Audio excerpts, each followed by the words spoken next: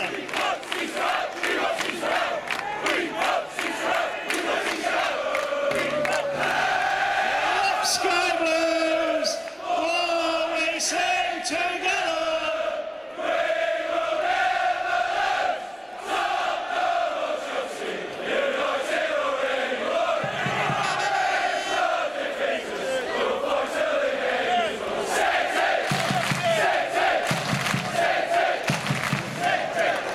Ladies and gentlemen, welcome to the Sky Blue Trust March and Rally 2014.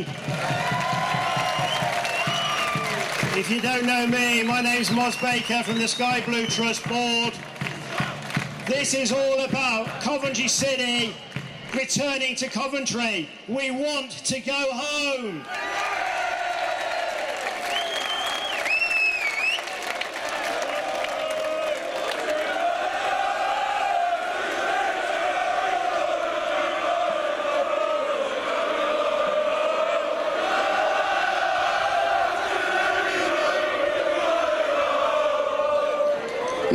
Out, I see young people, I see old people, some even older people. Hiya, Lionel. I see grandparents, I see children, I see people who are Coventry City supporters, I see people who just live in Coventry and recognise that Coventry deserves and needs its own football team.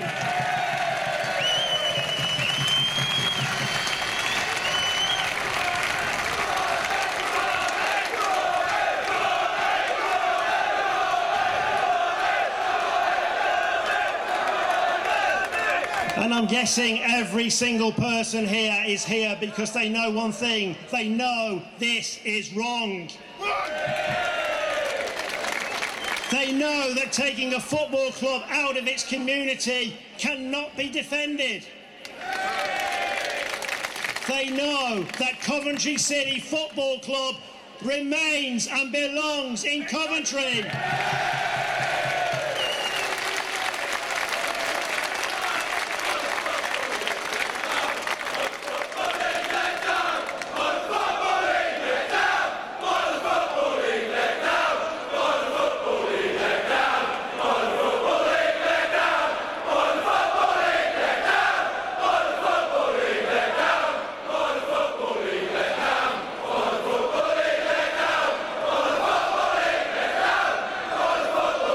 Come on to them later. How the hell has it come to this? A once proud club, a club that spent 34 years in football's top flight. Now playing 35 miles away in Northampton. Playing in front of pathetic crowds in a dump of a stadium.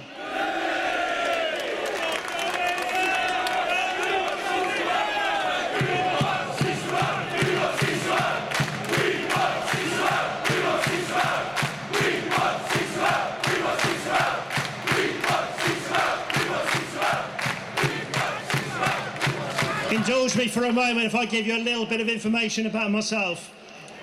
My route to becoming a Coventry City fan is not a conventional one. I didn't come from a long line of Coventry City supporters.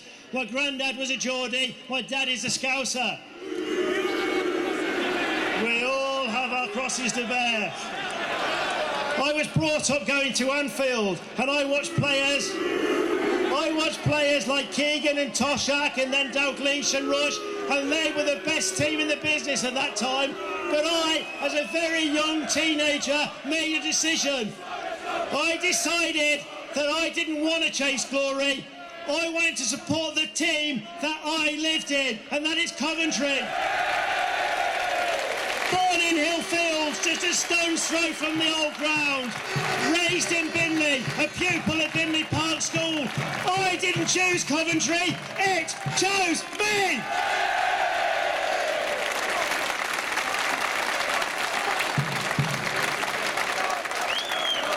So for me, my new idols became Tommy Hutchison, Fergie and Wallace, Gary Thompson, Tom English, Terry Gibson, Cyril Regis, Dave Bennett, David Speedie, Gordon Strachan, Gary McAllister, Hadji, Robbie Keane. The list goes on.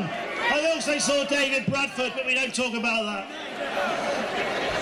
This city is important to me. It's important to you as well.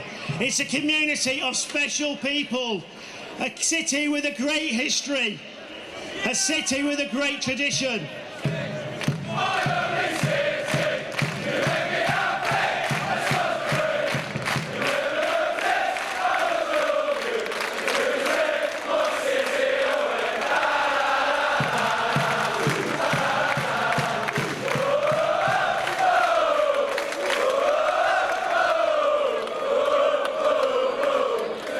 That's why this tragedy is so, so difficult to deal with. Football is tribal, it's partisan, it's all about a sense of belonging, a sense of caring, it's about passion, it's about being part of a community. You take the football club out of that community and it starts to die. This football club is dying.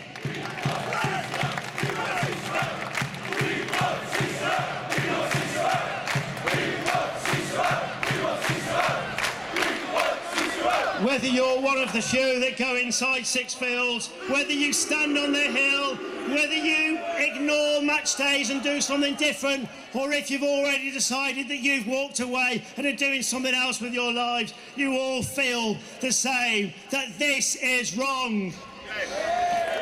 A football club, club belongs amongst its people, its community, owned by people who care about that community, people who can be trusted with its heritage and trusted with its future. A football club in the community needs that tender, loving care and stewardship. A football club is no place for speculators and chancers.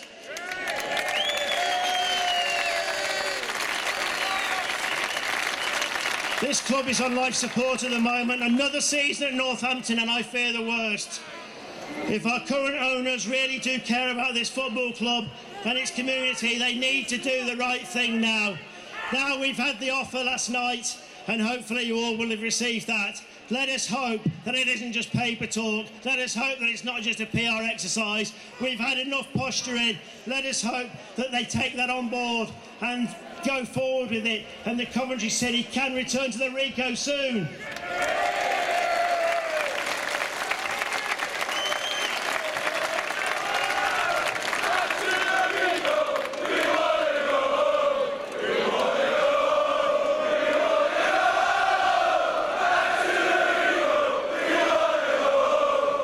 So I say to our owners, pay the money that you're due. 590,000 it is.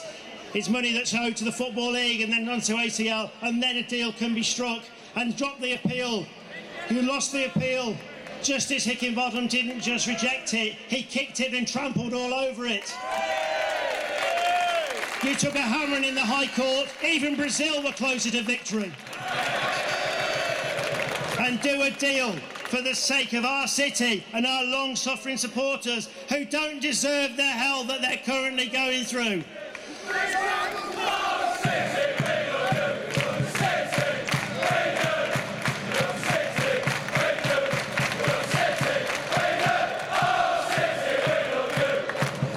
And if there is a new stadium out there, and I know one or two people might be a tad sceptical, but if there is and you're intent on building it, get on and building it and stop coming up with rubbish excuses and stalling tactics. We've heard enough.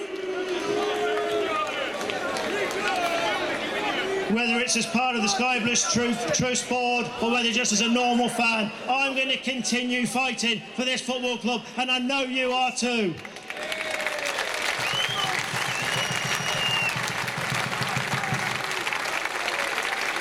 There's no white knight here, and if we're all relying on the Football League to save us, then we are in trouble. Weak, spineless. How can they do this? How can they let this happen to a community football club? How can it make up its own rules as it goes along?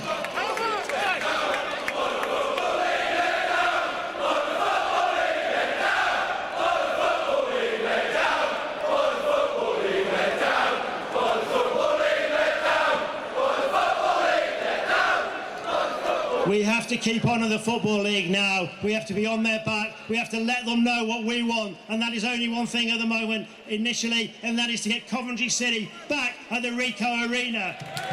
Keep up the pressure. Don't give up the fight. Ladies and gentlemen, we have a football club to save and a football club to prosper in the future. Thank you very much.